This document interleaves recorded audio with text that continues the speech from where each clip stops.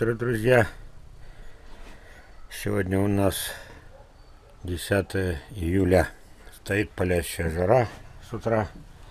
Я спрятался в беседку. Здесь чуть-чуть дышать можно. И направил видеокамеру моего скромного телефона вот на эту ягоду. Она поспела. Значит, давайте так. Если бы я был поэтом, только он мог бы так красиво рассказать в стихах о ягоде, которая относится к лучшим произведениям самого Господа Бога, которая предназначена как раз для наших средних и суровых краев, и которая практически незаслуженно забыта. Почему я так говорю? потому что я в год получаю несколько тысяч писем. Раньше бумажных, теперь в основном электронных. И э, если так до десятка звонков в день с каждым вежливо говорю, умножим на 365 дней в году, да, еще получается тысяча звонков. А войлочной вишни воды набрали в рот. Никому она не нужна. Да, я ее навязываю. Да, как я это делаю? Я вам покажу потом прекрасные кусты. Вы будете кто в восторге, кто в шоке, в зависимости от черты характера. Кто позавидует, кто-то скажет, хочу такую же. Вот. Вчера мы ходили э, с предыдущим видеофильмом, и там я вам показывал грядку, где всходы из косточек вишни, прекрасные всходы которые говорят и о квалификации, и о, о, о том, что это, в принципе, способен вырастить каждый. Но она не дает отводков. Это ее счастье, потому что э, те, сорта, что, виды, что дают отводки, вроде бы, вроде сливы, вишни, яблонь, они ненавидимы. Они страшно ненавидимы. Почитайте третий номер свежий. 15 год, это было совсем недавно. Не буду фамилию трепать. Вот о том, что э, надо всячески избавляться, всячески, что как, какие отводки, ухоту их. А я говорю, какая же огромная жаль, что войлочная вишня не дает отводков. Можно было бы распространить по всей стране. В Европе совсем худо с ней. Ну, понятно, худо. Посадят в углубление – закопают корневую шейку, посадят э, в эту в ямку для полива, сгноят с гарантией.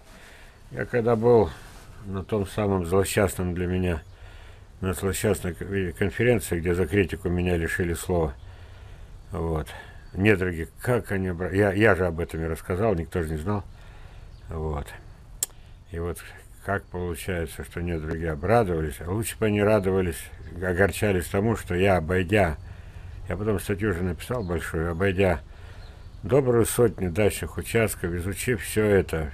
Ну, там в основном так, гноение корневых шеек, это один, и уничтожение штамбов э, с помощью обрезки на кольцо. Знаете, чтобы ходить по дереву, не сгибаясь. Это дичайшее, это невежество дичайшее, но оно-то воспитано кем?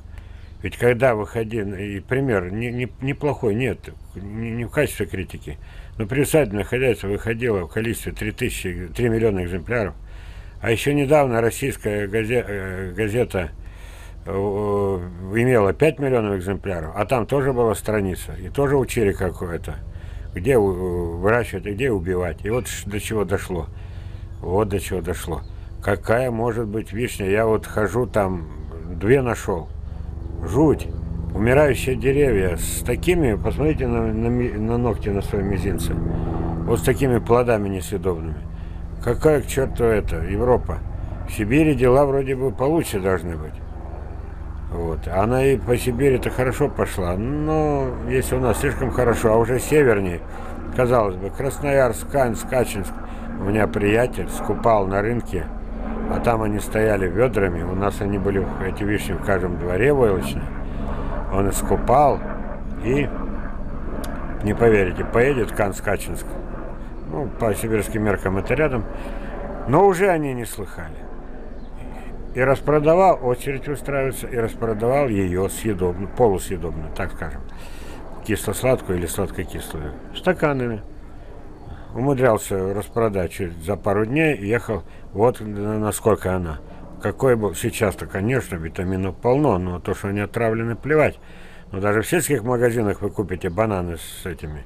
И даже банальное такое выражение, как бы, как сказать, получается, что экспор такой, ну ладно.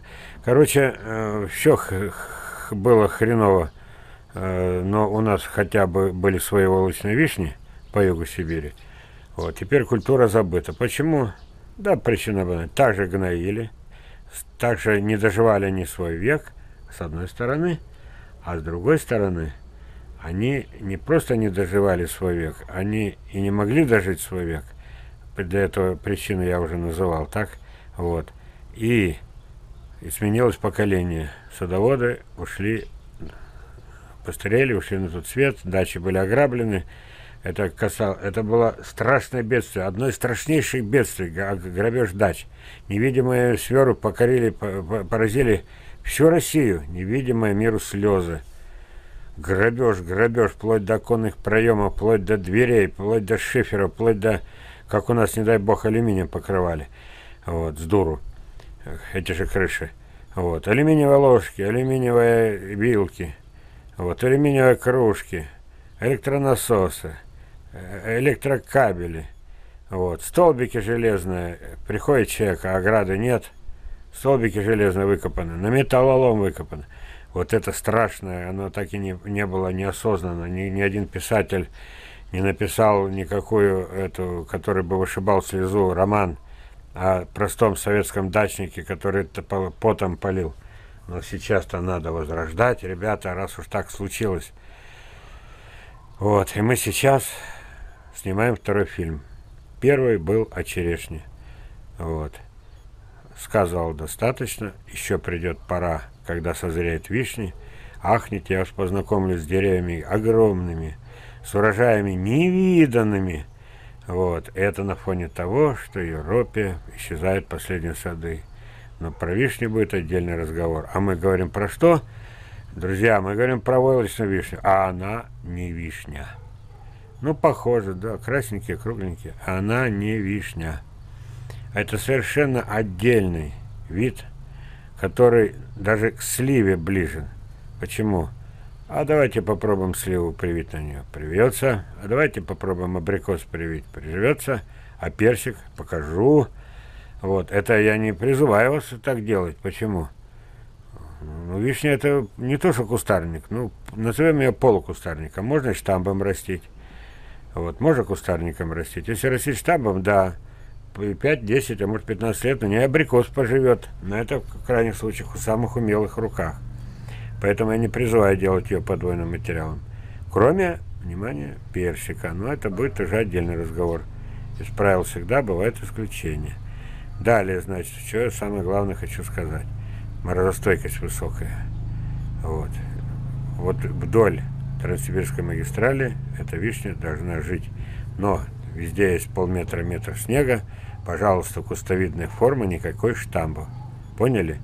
Вот, половину закрывается снегом, никогда не погибнет, всегда будете ведрами есть, не, так хочу сказать слово, жрать, так в хорошем смысле жрать.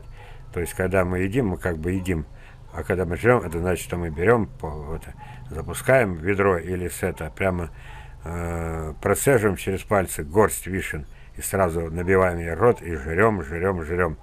Ну что, будем ей заниматься? Давайте я вас познакомлю. И в то же время она внутри вида делится на сорта. Где эти сорта? Никогда ни один сорт удержать невозможно. Ребята, мы ее размножаем только косточками. Попробуйте вегетативным путем. Я много чего достиг. Вот, э, да, да, это самое. Оглянулся назад, там даже близко многие не приблизились к этому рубежу. Вот. Кроме двух-трех моих, моих же друзей. Маленький наш кружок, э, незаконно рожденный. И вот, значит, получается так, что сколько бы ни создавай сортов, а вы можете найти новые сорта, пожалуйста, вырастите косточки, возьмете с этого нового сортового дерева, прекрасный, практически съедобный, они, запомните, они всегда полусладкие, полукислые и редко-редко сладкие. И вот вы должны что сделать? Вы должны только, если кто не научится размножать вегетативно, а это опять ищите мои материалы, Вот. Далее о укоренении. А большинство, это 99,9, пожалуйста, косточки и этот же самый сорт исчезает без следа. Точка, приехали. Вот, становится опять такой, как бы сказать, кисловатый, почти несъедобный. Одна радость, что она имеет стержневый корень, а значит она, имея небольшие размеры, все-таки уходит довольно глубоко в землю и э, замерзание корней не служит причиной ее гибели. Причиной гибели, еще раз говорю, у нее очень слабая корневая шейка. Ну вот теперь, когда общим целым система обозначена тема, Вон она проглядывает, я вас познакомлю, вот с, именно с, вначале с этим экземпляром я, я угрожал, обещал, будете у меня видеть э, каждое происхождение каждого сотен деревьев.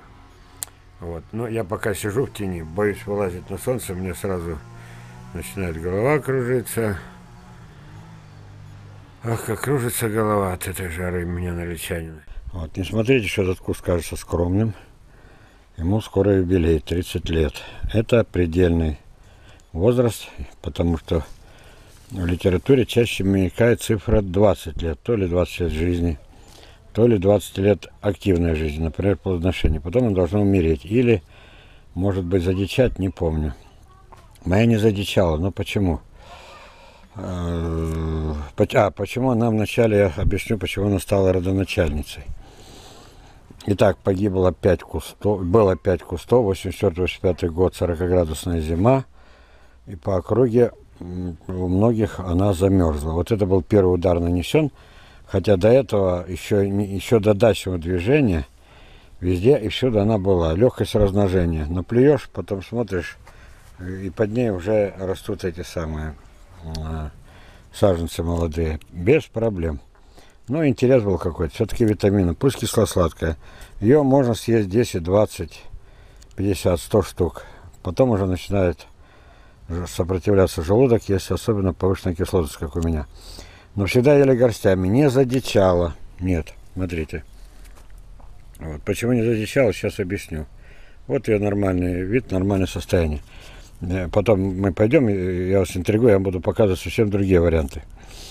Вот. Она где-то 20 -го года начали отсыхать отдельные ветки. Так? Вот, например, еще раз говорю, скоро юбилей. Она еще много не принесет, но учитывая ее качество, морозостойкость, вы же уже поняли, почему я упоминал 84-85 э, год. Далеко не все вишни безболезненно войлочные перенесли эту страшную годину 40 градусами морозами, за 40 градусов, длинными неделями. Вот, и э, я уже, у меня на этом участке у бабушки, когда я купил, росла одна яблонька белой наливи, пять таких кустов. Но три из них замерзли, два оказались очень кислыми. Все тот же принцип. Чем дичее, тем выносливее. Эту я обнаружил в чужом саду методом дегустации. Вот, посадил косточки, вот это пошла лучше всех тоже по-разному бывает. И я тогда не знал, что нельзя садить в ямки, кстати. Я как все садил ямки, помню первые свои деревья с, ду, с дуру. Теперь я говорю с дуру, господа садисты. Ну вот теперь как выглядит. Смотрите, вот еще очередная отсыхает ветка. Она была незаметна, что она уже не плодоносит, что она уже старая. Ее надо вырезать. И вот когда я начал вырезать ветки, я понял, что так же, как в истории с э, со смородиной, кстати, упомяну, не могу же я это не упомянуть. Мой совет личный, он совпадает с частично литературным, то есть я этот совет не сам придумал, а прочитал о нем. Итак, растет э, смородина, смородина, она прекрасна, она молодая, а вы знаете, как она стареет? О, то, то же самое, 20 лет и превращается в дикаря. Вот. Тем более, знаете, как многие смородины-то все-таки умудряются достать выращенную из семечка, а это вообще крах. Она уже и сразу никуда не годится. Но все-таки самородина выращена из а, вегетативным путем, из фрагмента. С пятого года, будьте добры, самую лучшую, самую толстую, самую мощную ветку вырезайте. И режьте так каждый год по одной ветке в течение 20 лет. у вас будет неснижаемый урожай и качество. Здесь получилось случайно. То есть я специально ее не омолаживал таким путем, как смородину я омолаживаю. Просто начинали ветки отсыхать, и вот когда их отрезаешь, вот получается, что... Ну, почему отсыхает? Она замерзнуть не могла. У меня же в этом году персиков полно плодов, черешни полно плодов. Вот. Ясно, что я не мороз погубил. Стареет, это уже лишняя ветка, ее уже выкормить трудно. Когда ее должен был, вот видите, тут рядом растет ветка полносящая, и вот она ветка пустая. А там вообще, вот если разглядите за этими зелеными, еще сухие ветки. Вот, то есть дерево говорит, это все лишнее, выкармливать не собираюсь, зато дам вам прекрасные плоды с остальных веток. Здесь уже немного урожая, куст был мощнее, он был полтора раза выше, и еще полтора раза шире. Вот. И я им долго-долго обходился одним кустом. Потом, значит, я взял и сейчас мы с вами пойдем, пойдем, пойдем к ее прямому потомку. Итак, вы видите прямого потомка, единственное не испорченного мною. Применив слово испорченное, это в хорошем смысле. Я просто хочу сказать, что мне надо было маточное дерево сохранить. Ну, не так много места, поэтому нетронутое маточное дерево только одно. Ему примерно сейчас 8-10 лет, не больше. Смотрите сюда. Это все оно одно. Смотрите внимательно. Вот. И вот сейчас он идет уже на рекордный урожай. Вот рекорды в этом саду ставятся мимоходом. Ой, правда говорю. Невзначай. Вот, посмотрите, потянет она на какой-нибудь сибирский хотя бы рекорд. А в Европе и такой немыслимо. Я сейчас его обойду со всех сторон. Расползлось. Лежит на земле. Смотрите-ка на него. Вот. И здесь уже, посмотрите, какой вот здесь вот видите помельче, да, потому что она вообще как облепиха висит. Вот. У меня нет задачи, и, наверное, так не получится. Вот, потому что ни сил, ни рук, ничего не хватает. Это все оно же, смотрите. Это оно, оно, оно, оно, оно, оно, оно. И вон там еще, вот там. Вот. Посмотрели, да? Теперь смотрим со стороны дальнего плана, как оно выглядит. Вот так. И еще с дальнего плана вот так. Совершенно молодое дерево. Вот теперь что мы имеем? Теперь мы имеем возможность сравнить, еще раз говорю, прямой потомок. Маточное дерево остается не для того, чтобы с него стрелять черенки, вот, а для того, а, оно не самое породистое, оно кисло-сладкое, оно съедобное, так, и его главное предназначение – обеспечение Сибири. Европа пока молчит, ей неинтересно, для того, чтобы обеспечить хотя бы Сибирь. Тут тысячи семян, косточек посмотрим. Еще раз говорю, в письмах ко мне она даже не упоминается. Вот это вариант какой. Обса, видите, 40 градусов зимы были, никаких следов, ничего на нее не действует. Но подчеркну еще раз, помните, мои же те же самые э, требования. Посажено где? Смотрите, я снизу показываю. Заметно, что на холме растет или незаметно? Я надеюсь, что вы заметили, что она растет на холме. Все, с ней пока. Пойдем поищем альтернативу. В плохом смысле и в хорошем. Тимош, ты меня потерял? Я сейчас фильм снимаю про вишню. Помнишь, мы черешню собирали? Тебе понравилось? Понравилось. А теперь смотри, будем про вишню, она разная бывает. Я хочу, чтобы ты выступил дегустатором. Иди сюда. Попробуешь? Смотри.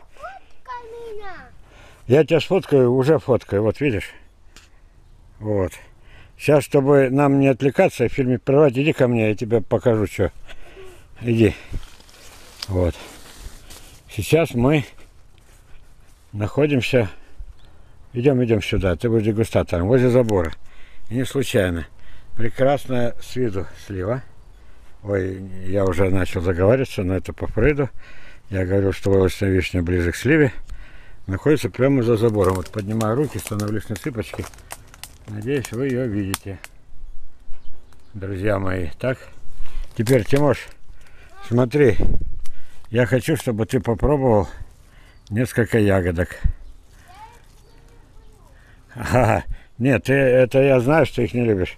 Дело в том, что это войлочная вишня, она кисло-сладкая. На, Тимош, и, иди хотя бы, ну, чтоб реакция была. Вот ну, через силу засунь в рот.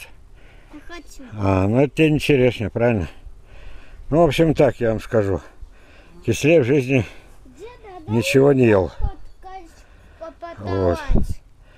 Поэтому сейчас Тимош, дай фильм доснимаю. Ты ходи рядом со мной, хорошо? Ну, не отвлекай. Итак, еще раз. Я уже выбросил. Вот это наиболее дикая форма, какая мне приходилось встречать. Так. Она мельче в два раза. Она практически несъедобна. Оставляем за ней какое качество? Помните мы, чем дичее, тем морозостойчивее. Поэтому мы с вами идем дальше. Что тебе дать? Фотоаппарат, ну дай я фильм доснимаю, пожалуйста, ты подводишь тысячи наших этих зрителей, если помешаешь. Можно я пока поснимаю, ладно? Потерпи. Ладно, ну мы пришли сюда ради вишни. Ну, думаю, хотя бы угощу волочной вишни. Так. А дело в том, что я совершил одно кощунство. Считается, что вишни, которые с косточки, улучшить невозможно. Она как? Вот 100 косточек посеял, если где, Петрович, прервайте меня, если скажете, все наоборот. Так, так раньше бывало. Вот. Из, из них получится на некоторых такой же вкус, как и у вишни маточной. А вишня маточная может быть изначально невкусная. И жди от него крупных плодов вкусных. Не дождетесь. Но даже если они крупные вкусные плоды, а с них взяты косточки, то разброс огромный. Вот я вам показываю этот разброс. Вот, смотрите сюда. Это и вы, гости, смотрите. Ну что, критики не выдерживают, даже пробовать не обязательно. Конечно. Сладость исключена, я уже сто раз проверял. Раз, да? Вот. И тут обратите внимание на одну такую вещь. Вот сейчас, если получится. Вот это вот плодоносит или... А, нет, нет. Видите, на этот э, войлочную вишню привито персик. Ну, плодов нет? Нет, но мы найдем другой. Да какой? Идемте сюда. Итак, вот это назовем середнячок. Чем они хороши? Они как подвоенные косточки хороши, на них можно привать. Э, Я уже говорил, да хоть абрикос, хо- хоть сливу, хоть что, но не советую. А персик советую. Итак, значит, э, если гости вот уже попробовали, вы убедились, что вкусовое качество низкие? Да, конечно. низкие. Но принцип тот же. Чем дичее, тем морозостойчее и, соответственно, лучше подвой.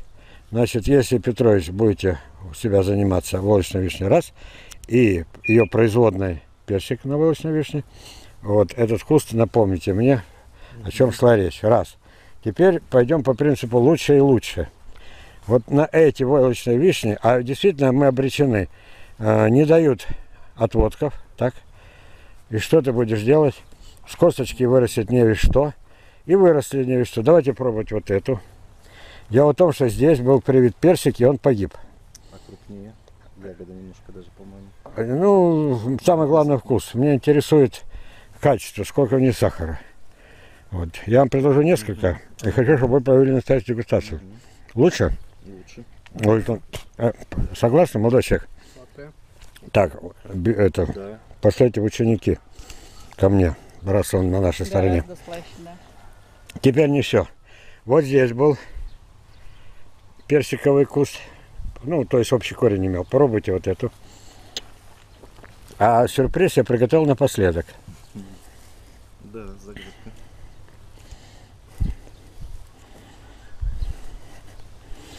Мне все равно, что вы скажете. Кислая, вкусная, Кислинка есть, но приятная кислинка. приятная, да? Очень приятная. Ну, и, наконец, мой сюрприз. Вот это вот, что вы сейчас дерете. Тут тоже? Да, вот это я понимаю, конечно. Ну вот.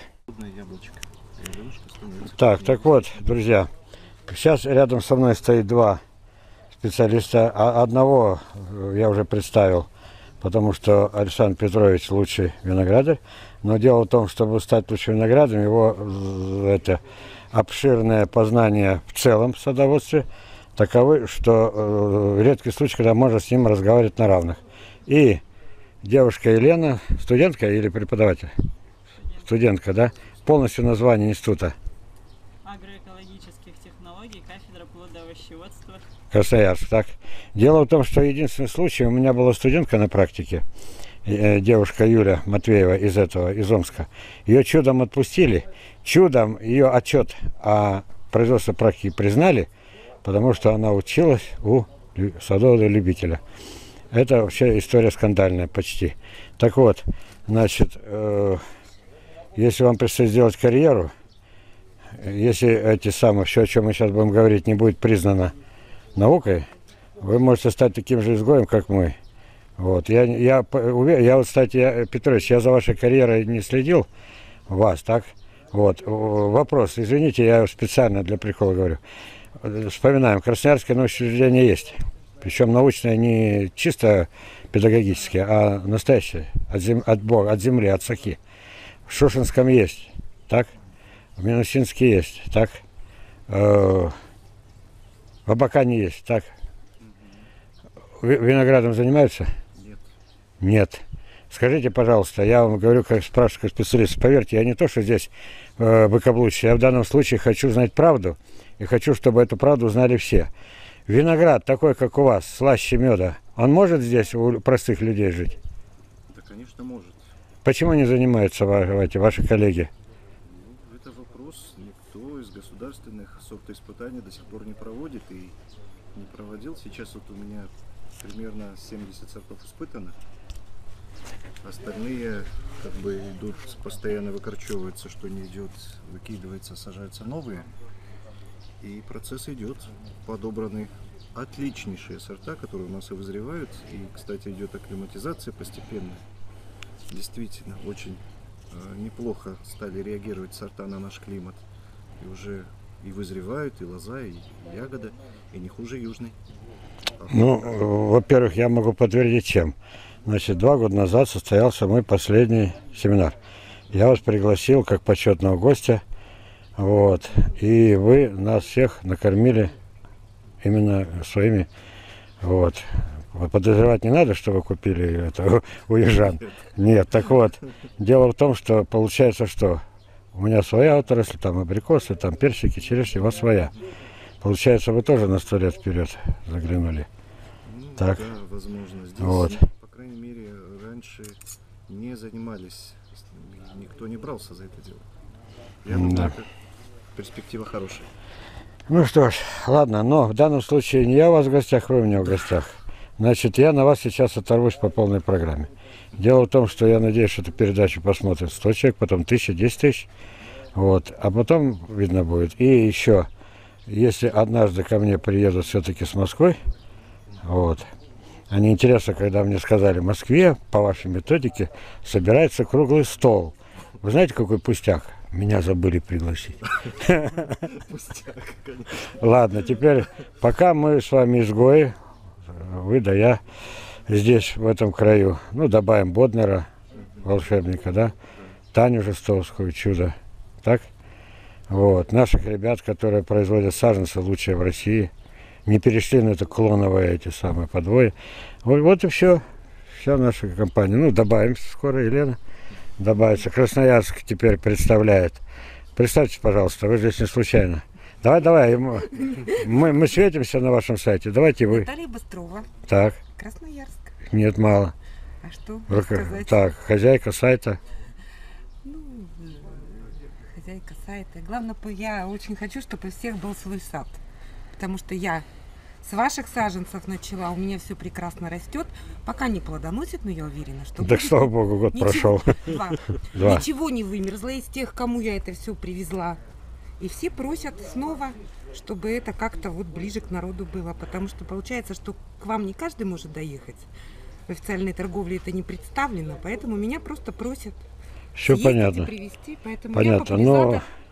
Но ладно, ваши слова дорого стоят.